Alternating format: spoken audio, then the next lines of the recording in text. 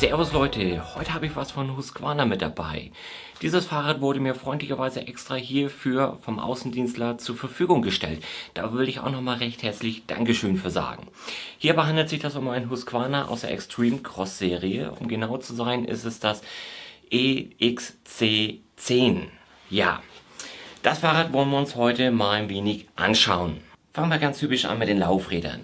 Drin verbaut ist von DT Swiss die FR 1950. Wie ich finde, eines der schönsten Laufräder, die man hier drinnen verwenden kann. Kommen tun die Laufräder mit einer 30er Felgenbreite. Diese Felgenbreite lässt auch ein bisschen Variation zu in der Reifenbreite.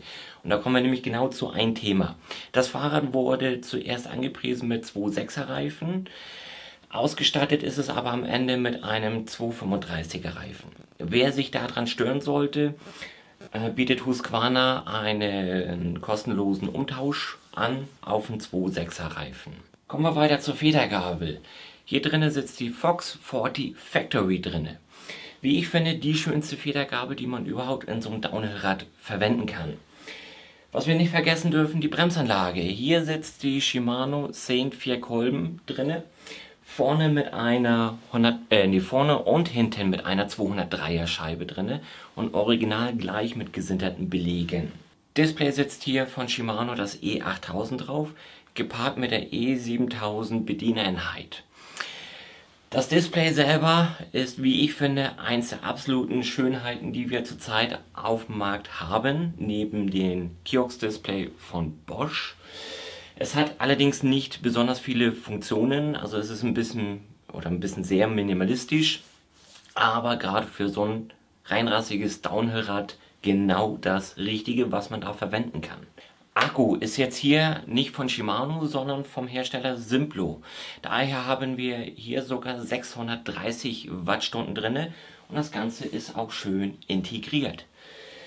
Ladebuchse haben wir hier unten auf dem Oberrohr mit einer netten Gummiabdeckung. Wirklich schön gemacht. Motor selber sitzt hier typisch der E8000 drinne aus dem Hause Shimano. Hier auch nochmal eine schöne Kleinigkeit. Daran sieht man, dass das Fahrrad ein reinrassiges Downhillrad ist. Wir haben hier sogar nur 160 mm Kurbellänge verbaut. Dämpfer haben wir hier auch wieder was absolut reinrassiges verbaut. Hier handelt sich das um den Fox DHX2 Factory mit Stahlfeder.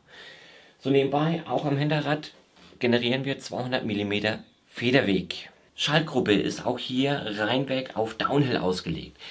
Schaltwerk hinten sowie Schalthebel vorne ist Shimano Saint.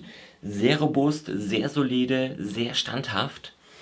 Kassette dadurch natürlich ein bisschen eingeschränkter. Wir haben jetzt hier eine 10-fach-Kassette drauf, 11 zu 36 Zähne.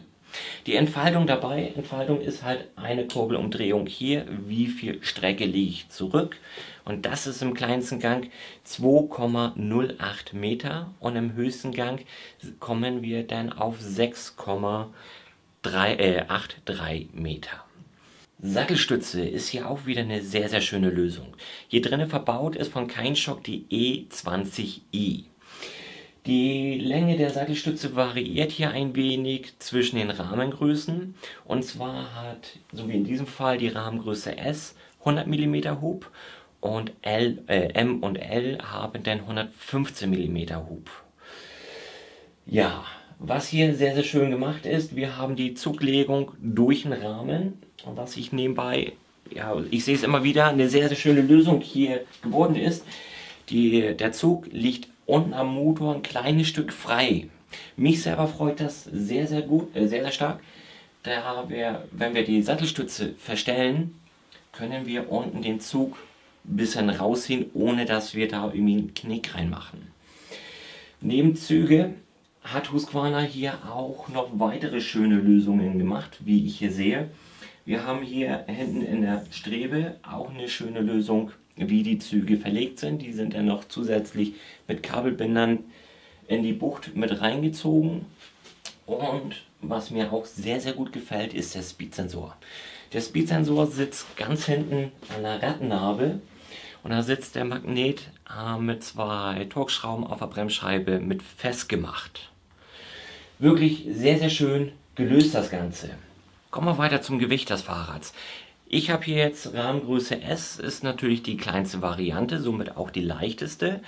Und für mich gab es eine kleine positive Überraschung. Die Angabe im Katalog scheint zu stimmen, denn ich komme auf exakt dasselbe Ergebnis. Das sind 26,3 Kilogramm.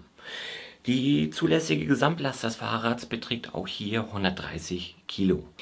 Alles im Allen haben wir hier wirklich ein sehr, sehr schönes, reinrassiges Downhill-Fahrrad. Mit diesem Fahrrad kann ich wirklich im Bikepark jede Menge Spaß haben und da sind wir nämlich genau bei dem Punkt, dieses Fahrrad besitzt seitens Herstellers eine offizielle Freigabe ebenfalls für Bikeparks. Ja, das soll es für heute gewesen sein. Ich hoffe, ich habe weiter nichts vergessen. Ich sage recht herzlich Dankeschön fürs Zuschauen und würde mich auch freuen, wenn du beim nächsten Mal wieder einschaltest. Bis dahin, ciao!